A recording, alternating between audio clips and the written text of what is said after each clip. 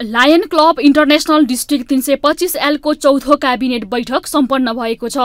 बैठकमा उत्कृष्ट लायनहरूलाई पुरस्कृत गरिएको थियो।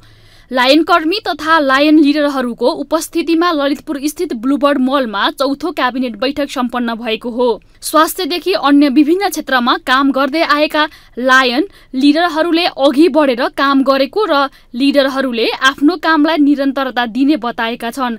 उनीहरूले कसैलाई रगत चाहिएमा लायन्सलाई सम्झन समेत आग्रह गरेका छन्। हामीले ब्लड रक्तदान मात्र होइन कि कसैलाई रगत चाहियो भने लायन्सलाई सम्झनु एलडिसीलाई सम्झनु भनेर हामीले चरिचाट बनाएका छौँ। सम्पूर्ण ब्लड सर्कल सोसियल सर्कललाई ब्लड टिमहरूलाई एकचोटि उठिनु अनुरोध गर्न चाहन्छौँ। Lion club international district cabinet बैठकमा शुभकामना दिँदै पूर्व प्रधानमन्त्री तथा एमाले अध्यक्ष केपी शर्मा ओलीले आफूले गरेको कामको प्रतिफल आउने गरी काम गर्न आग्रह गरे। तपाईँहरू साँच्चै सहयोगका लागि काम गरिरहनु भएको छ स्ट्याटसका लागि होइन फेसबुक स्ट्याटसका लागि।